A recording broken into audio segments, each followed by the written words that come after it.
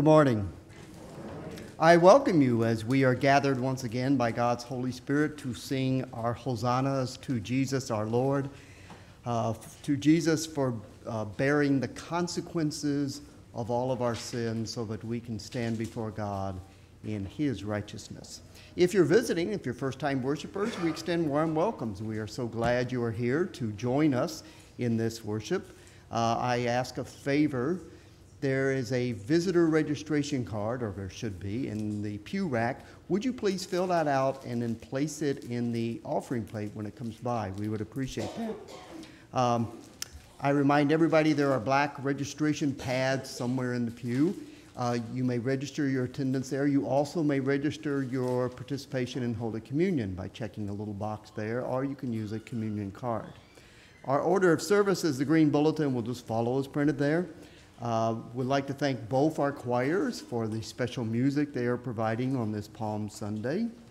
Um, after, uh, speaking of special music, after the families have come forward and received Holy Communion, we're asking for the preschoolers through third grade to actually exit the sanctuary, go through the double doors and down the hall uh, into the fellowship hall, into Luther Hall they will be gathering there at that time after communion uh, to prepare for their singing. So they get to stay with the family um, until then. Uh, you might also notice that's sort of our uh, um, wishes and desires in our worship service is that the whole families worship and participate together. We don't split you up. We don't have just the adults up here and send the kids somewhere else. We like to uh, have families do worship together. So through communion, you'll be together, and then we'll send the kids down for their singing part. Uh, speaking of Holy Communion, uh, today we will be celebrating Holy Communion, and we come forward to receive bread and wine.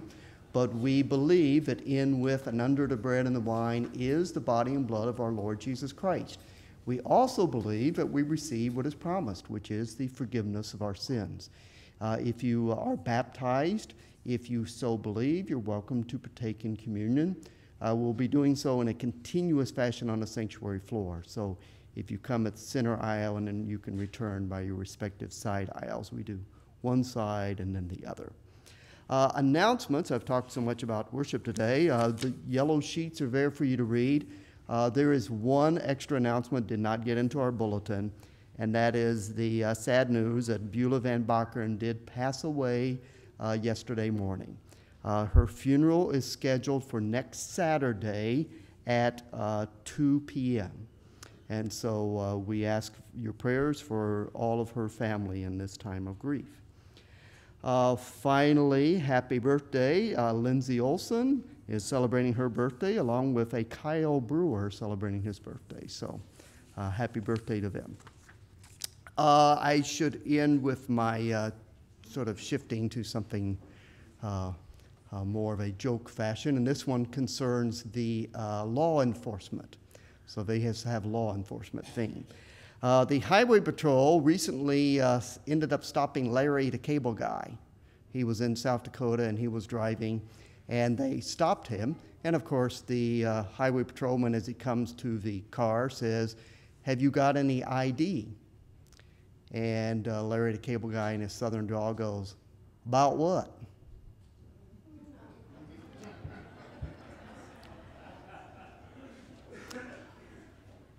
Story number two. Uh, a female with a lighter hair complexion uh, called the police. She said, Somebody just stole my husband's pickup. And they said, Well, did you see who it was? She goes, No, but I got his license number. With that, please stand, greet one another, welcome one another.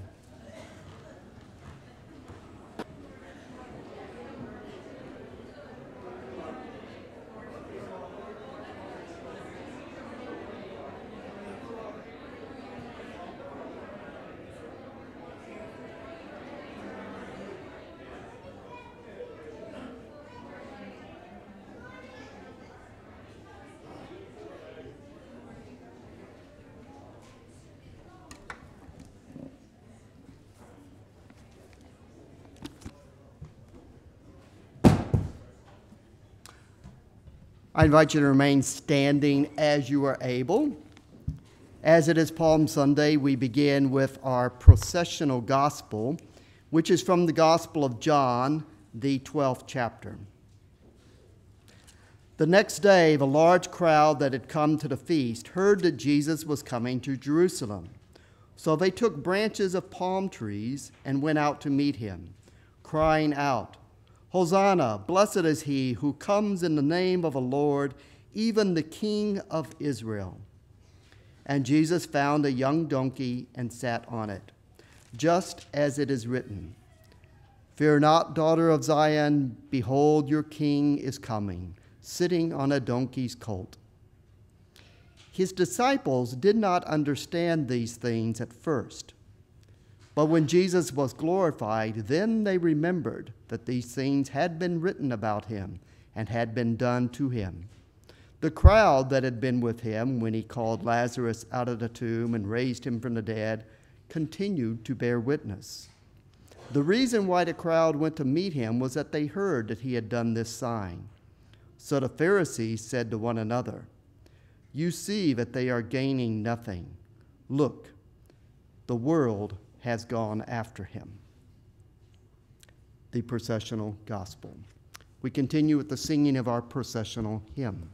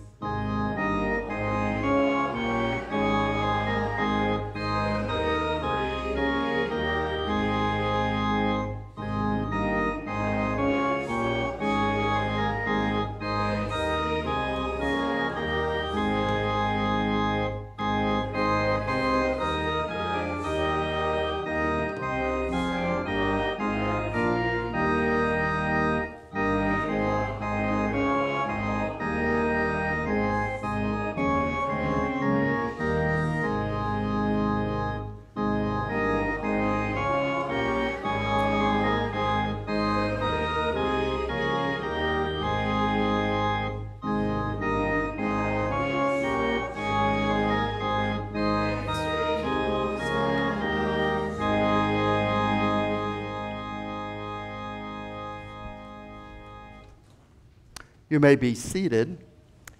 I invite you to turn to page 73 for the service of Holy Communion. We are gathered in the name of our God, Father, Son, and Holy Spirit. Amen. Beloved in the Lord, let us draw near with a true heart and confess our sin to God our Father, imploring Him in the name of our Lord Jesus Christ to grant us forgiveness. Our help is in the name of the Lord. I said, I will confess my transgressions to the Lord.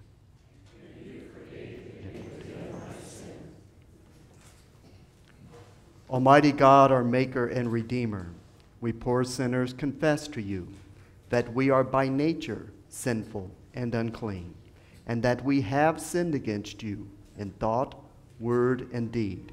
Therefore, we flee for refuge to your infinite mercy, seeking and imploring your grace for the sake of your Son, Jesus Christ our Lord. Most merciful God, you have given your only Son to die for us. Have mercy on us, and for his sake grant us remission of all our sins. By your Holy Spirit, increase in us true knowledge of you and of your will, and obedience to your word, so that by your grace we may come to everlasting life. Through Jesus Christ our Lord. Amen. Almighty God, our Heavenly Father, has had mercy on us and has given his only Son to die for us, and for his sake forgives us all our sins.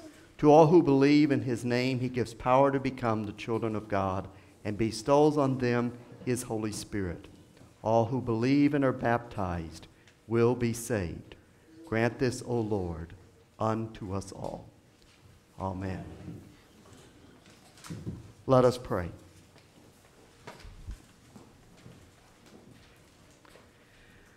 Lord God, we confess that we have fallen for many temptations. Thank you for not giving up on us. Help us to recognize the places in our lives that need correction and give us a spirit of repentance so that we would not bear the continued consequences of sin. We pray in the mercy of your Son, Jesus, trusting that you are always with us. Amen.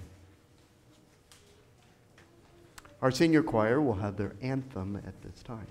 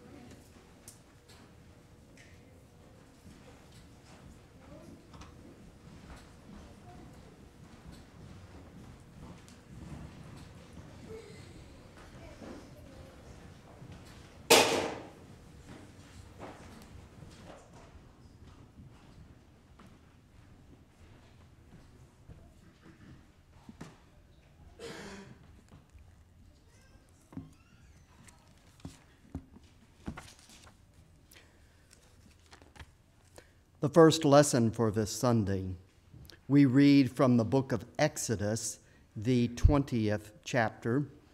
This comes from the middle of what we call the Ten Commandments, and it will be coming at the end of the first commandment.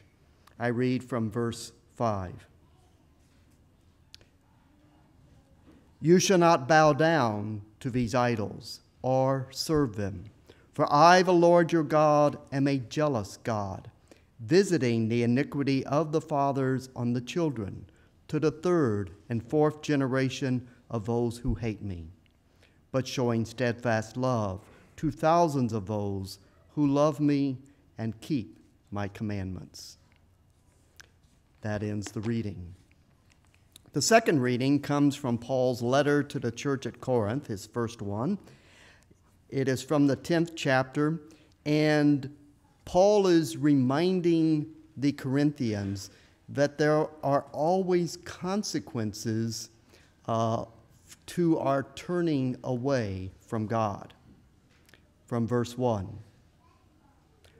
For I do not want you to be unaware, brothers, that our fathers were all under the cloud, and all passed through the sea and all were baptized into Moses in the cloud and in the sea, and all ate the same spiritual food, and all drank the same spiritual drink, for they drank from the spiritual rock that followed them, and the rock was Christ. Nevertheless, with most of them God was not pleased, for they were overthrown in the wilderness.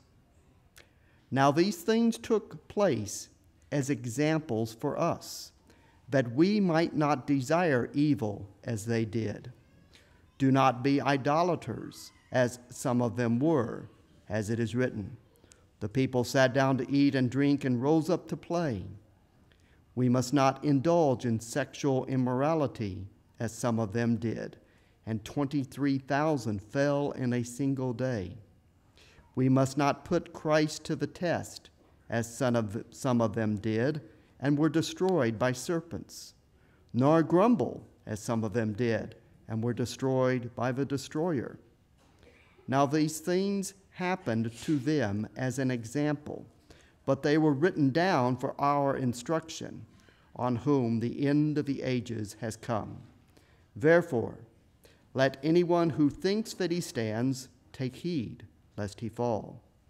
No temptation has overcome you that is not common to man. God is faithful, and he will not let you be tempted beyond your ability. But with the temptation, he will also provide the way of escape, that you may be able to endure it. Therefore, my beloved, flee from idolatry. That ends our reading. I invite you to turn to our Lenten sentence, which is on page 78, and stand as we sing together.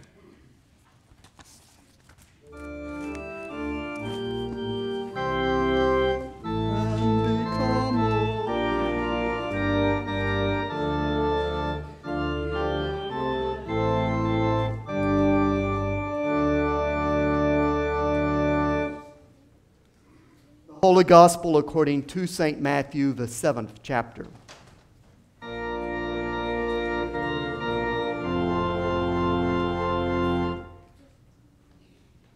Continuing the theme of consequences, we read a parable from Jesus of the consequences of who you build your life upon. From verse 24. Everyone then who hears these words of mine and does them will be like a wise man who built his house on the rock. And the rain fell, and the floods came, and the winds blew and beat on that house, but it did not fall, because it had been founded on the rock. And everyone who hears these words of mine and does not do them will be like a foolish man who built his house on the sand. And the rain fell, and the floods came, and the winds blew and beat against that house, and it fell. And great was the fall of it. The Gospel of our Lord.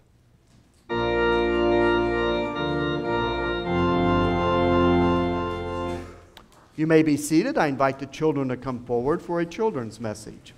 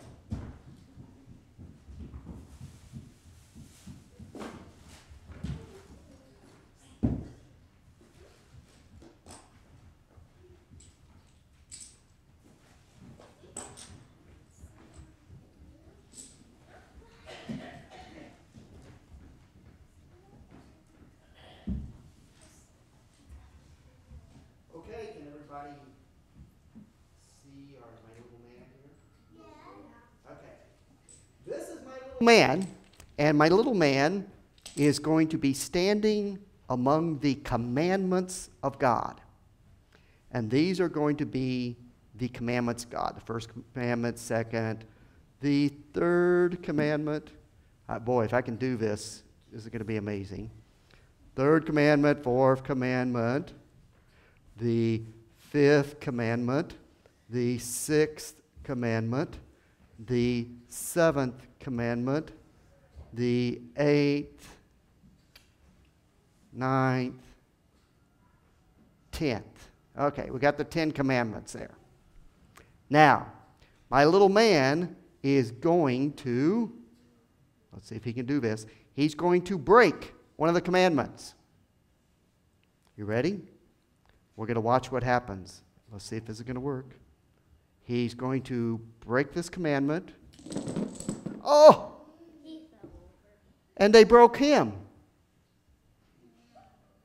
Now, what if, again, we'll have all the commandments here, but now we have a big domino that will be the Father, Son, and Holy Spirit.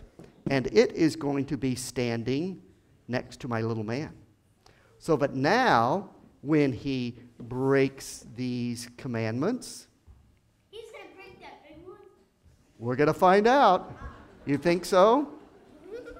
You think that's going to happen? Let's see if I can get this set up right.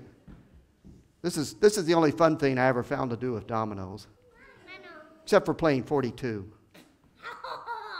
Yeah, that's funny. It is sort of funny. 42 is a game out of uh, a card game. Okay, ready? He's ready. He's got to break one of the commandments.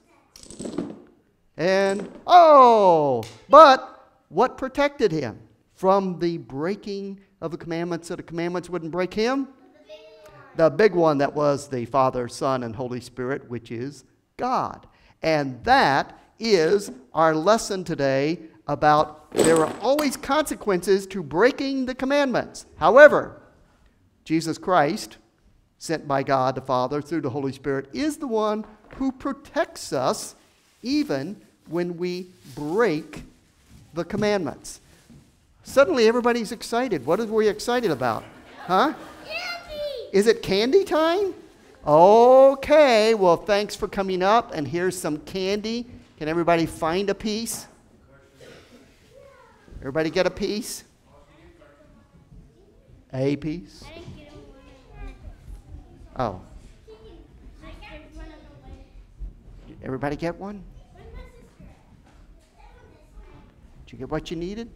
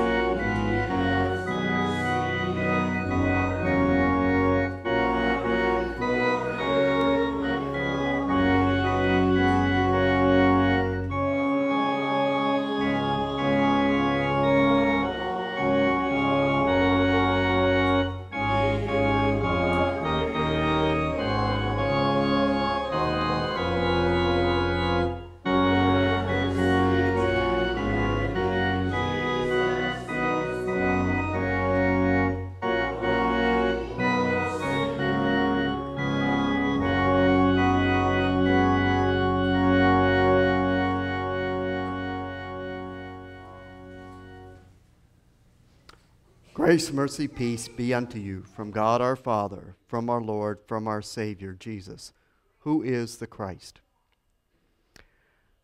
Consequences for every action or inaction, there is a consequence. Either it will be a positive consequence or it'll be a negative consequence. But there will be consequences to all we do or fail to do. Palm Sunday, when Jesus entered Jerusalem, everyone knew there would be consequences.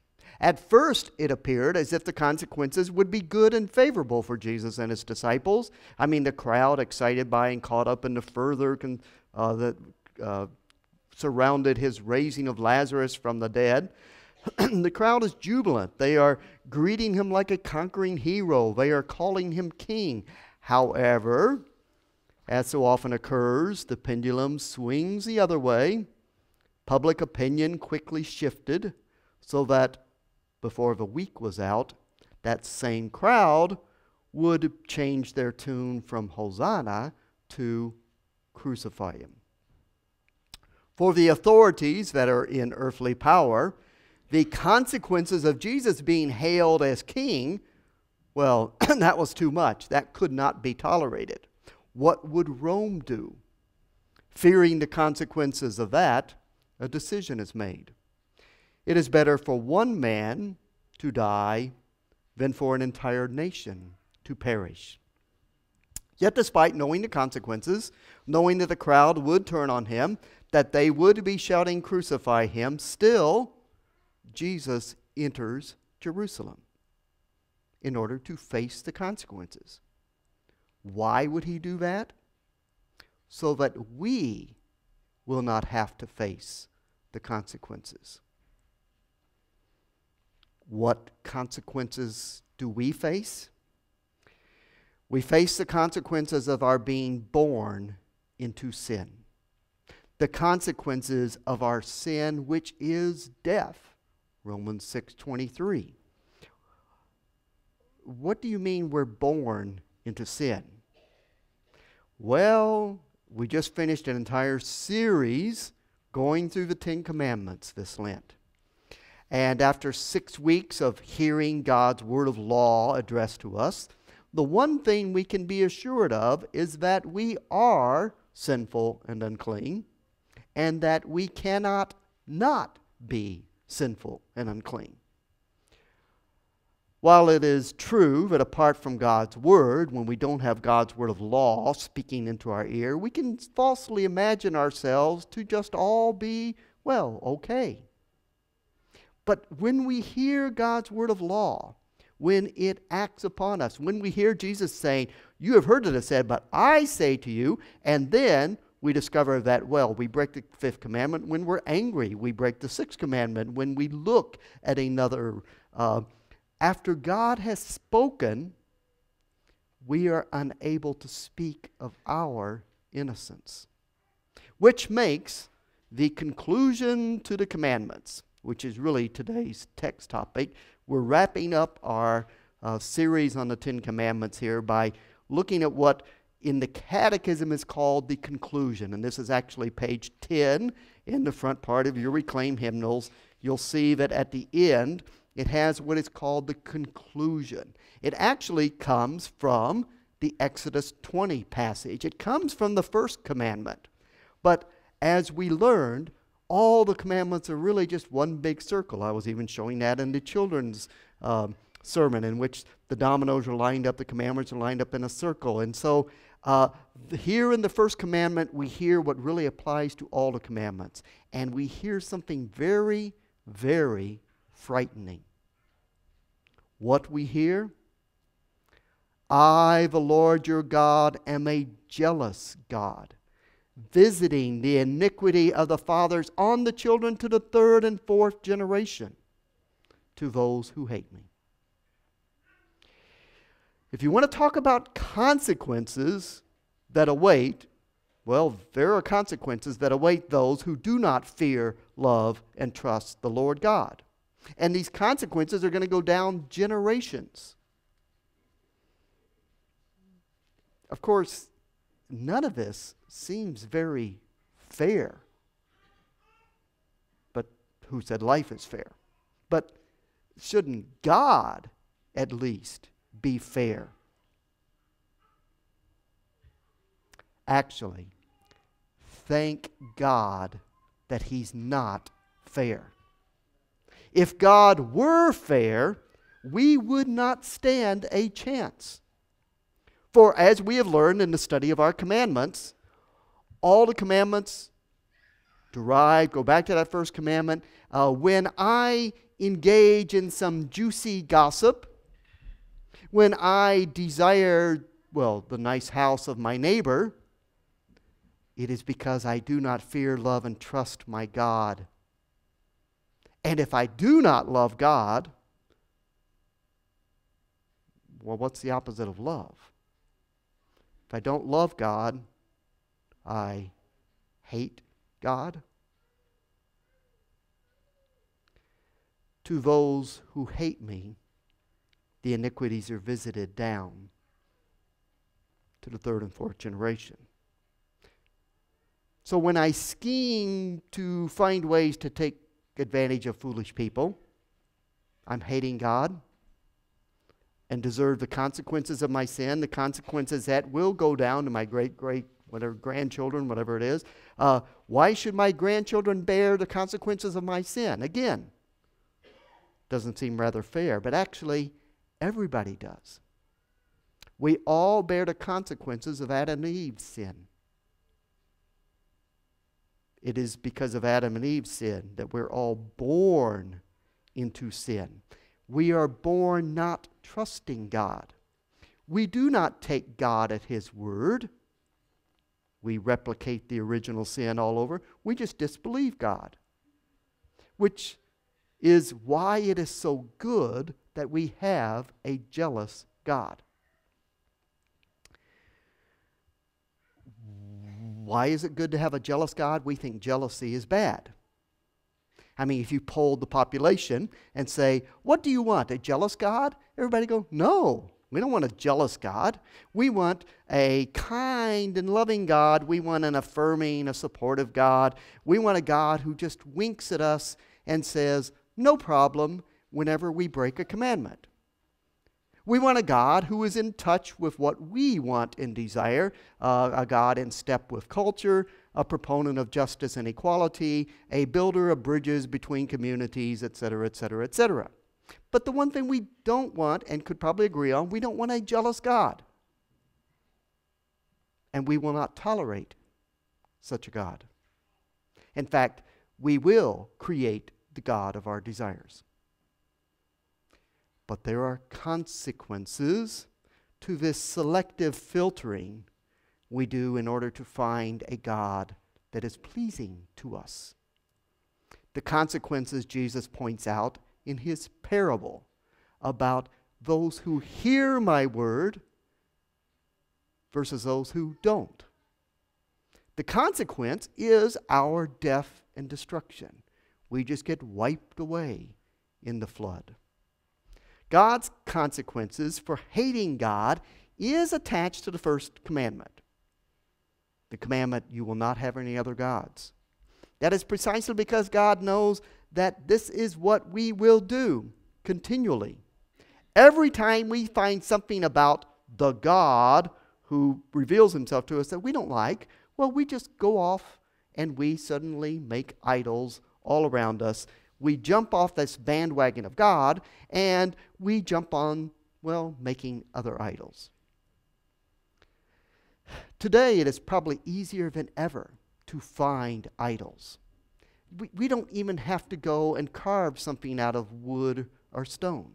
All we have to do uh, is when we find something in God and we say, you know, I don't like what God's revealing about Himself, and it just doesn't sort of fit my fancy, we rush off and go shopping. We go shopping among the myriad of spiritual factories that are churning out all sorts of things on internet sites, or uh, have we go attend some uh, spiritual pep rally at a giant coliseum uh, in which the God that we want to hear is proclaimed. But the God Yahweh, which means I am who I am, and I'm not going to change. Uh, he doesn't tolerate rivals. Period. He will not let his chosen run off and love another. He is jealous.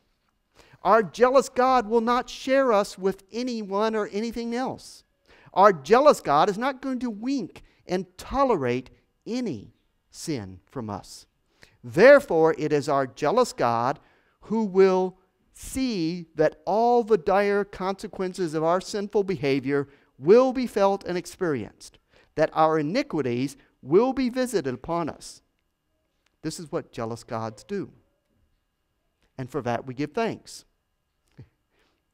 yeah, I'm going back to this always. For if our God were not a jealous God, he would not pursue us.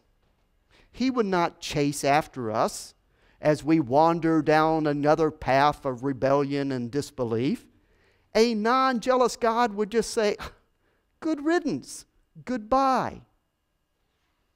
But our God is a jealous God who pursues those whom he has come into a relationship by his promises, and he will not let us go. Therefore, it is a jealous God who sends Jesus into Jerusalem, knowing full well the consequences. In fact, he sends him into Jerusalem to actually bear the consequences. Jesus bears the consequences of our rejecting a God who doesn't fit our expectations. I mean, notice what happens. He enters Jerusalem and everybody's going, Hosanna! Because they think he's going to fulfill their expectations. And when he doesn't, what do they say? Crucify him. It's the same thing we say. This is us in the scriptures. And Jesus comes to purposefully bear the consequences of our disbelief, of our disobedience. He does this by bearing the cross. He bears torture, ridicule, shame, and he bears our sin the consequences of our sin. Our jealous God is so incensed that we might be led away by the evil one that he will take our sin, our death, our consequences, so that we might be freed. Freed from sin, death, and the evil one. This is what a jealous God does. And he then puts us to death by his word of law so that we might be raised to new life, resurrected to a new life that now we will believe. Now we will trust. Instead of how we were from the very beginning created, and we did this through all the Ten Commandments, we go to every commandment and we said, and you will break this commandment, and you will break this commandment, and you will break that commandment. Now, suddenly, God is about creating new creatures new beings, born again, so that we will believe, we will trust, and we will love the Lord our God with all our heart, all our, all our heart, all our soul, all our mind, and our neighbor as ourselves. This, by the way, is what a jealous God does. He shows us the full consequences of our bondage, our attraction to sin, in order to repent us, to turn us back to Him where therefore in him we will be made anew, to be made a believer, to be made one who actually trusts in God and one who actually lives with God, for God, forever. The rebellious self, that is our natural state, is put to death by God's word so that a new self can arise that will love God with all our heart, soul, mind. A jealous God puts an end to the unfaithfulness of us always rushing off, always inevitably breaking every commandment we can find. And he says, Enough. He will raise up a new you, a new being. This is the end of the cycle. This is the end of always having to find that the law is saying, we are dead, we are doomed. That it will go on this way forever through generation to generation to generation. And God puts an end to it. This is that brick right there at the end saying, No, this doesn't touch you because I have made you a new creation by putting an end to you, the old you, to raise up a new you that now is actually going to believe, that is actually now going to be faithful, a new you that will actually be new as you hear and live in His Word. Jesus' parable two houses built one upon those who hear God's Word and gladly learn it and live in it. The rock, the Word, Jesus Himself, and those who don't. Uh, for those who don't, the jealous God will make sure you will hear and be turned back to Him. A jealous God says, Everybody I have made a promise to, you're mine. And I will make sure I will pursue, I will always see that you are mine. I will not let you run the other way. For I, the Lord your God, am a jealous God. Amen. Our worship continues with our offering. As we collect our offering, we'll collect the offering, I guess. Thought we had a song there, but we don't.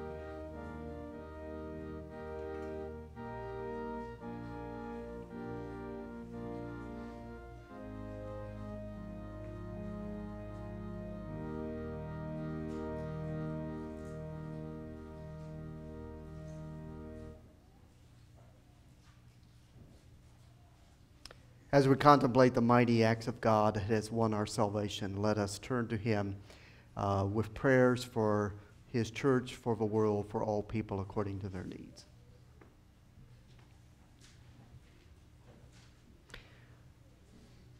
Almighty God, as we gather this day in peace and quietness, we are aware of our many brothers and sisters in Christ who bear His cross in a world and suffer persecution for their faith. Sustain them by your mighty Spirit, and let the blood of the martyrs truly be the seed of your church. Lord, in your mercy. Let the cross of Christ be our source of hope and power. May we never be ashamed of the foolishness of Christ crucified. May we boldly proclaim the cross as your wisdom and righteousness, that many will experience its life giving power. Lord, in your mercy. Teach the nations the way of peace and justice and humble service. Let Jesus always be lifted up to draw all nations to himself. Lord, in your mercy. We pray for our North American Lutheran Church, for Bishop Bradosky, for all pastors, teachers, leaders, for all the faithful who gather around the crucified and risen Lord as he teaches us through the scriptures and feeds us with the bread of life. Lord, in your mercy. For the leaders of this nation and our community, for all who give of themselves that we may enjoy health and safety and security, Lord, in your mercy. For the needs of which we are aware and for the needs that are known only to you, we pray, Lord. We pray especially for the family of Beulah Van Bakern as they uh, reflect on the gift that she has been to them in her life and as they bear the loss of that gift. We pray that you will unite us with all of those who now sleep in your presence and raise us with them to share in your eternal Easter festival. Blessed is he who comes in the name of the Lord. Lord, in your mercy. It is into your hands, Father, that we command all for whom we pray, trusting in your mercy, for the sake of your Son, Jesus Christ our Lord. Amen. We continue with our service of Holy Communion. It is found on page 85 in the front part of your hymnals. Brothers and sisters in Christ, to receive the Holy Sacrament in a worthy manner, consider what we must now believe and do. We should believe that Jesus Christ Himself is truly present in the bread and wine as His words declare. This is my body, which is given for you. This is my blood, which is shed for you for the forgiveness of sin. We should also trust that Jesus Christ forgives our sins, as his words promise for the forgiveness of sins. Finally, we should do as Christ commands when he says, Take, eat, drink. Do this in remembrance of me. When we repent, believe these words, and do as Christ commands, then we have rightly examined ourselves and may worthily come to the Lord's table for the forgiveness of our sins. Together, we should also give thanks to the Father of our Lord Jesus Christ for this great gift. We should love one another with a pure heart and with the whole Christian church take comfort and joy in Christ our Lord. May our Heavenly Father grant us His grace through our Lord Jesus Christ. Amen. The Lord be with you. Lift up your hearts. Let us give thanks to the Lord our God.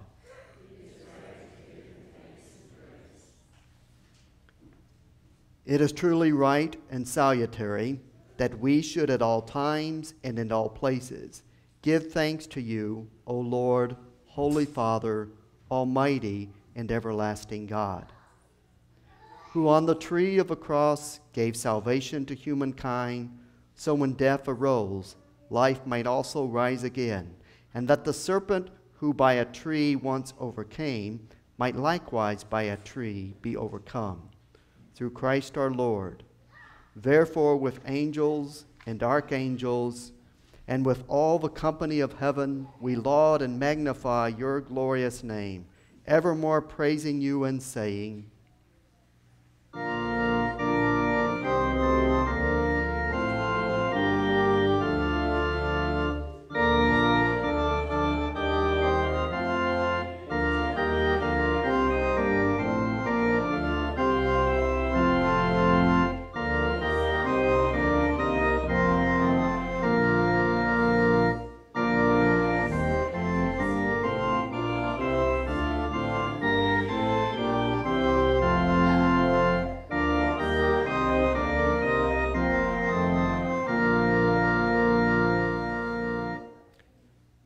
Father, who art in heaven, hallowed be thy name.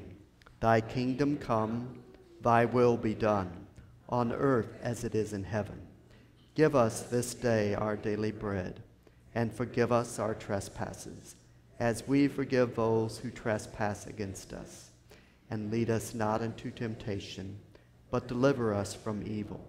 For thine is the kingdom, and the power, and the glory, forever and ever. Amen. On a night in which our Lord was betrayed, he took bread, gave thanks, he broke it, and gave it to his disciples, saying, Take, eat. This is my body given for you. Do this in remembrance of me. Again, after supper, he took the cup, gave thanks, gave it for all to drink, saying, This cup is a new testament in my blood, shed for you for all people for the forgiveness of sin. Do this in remembrance of me.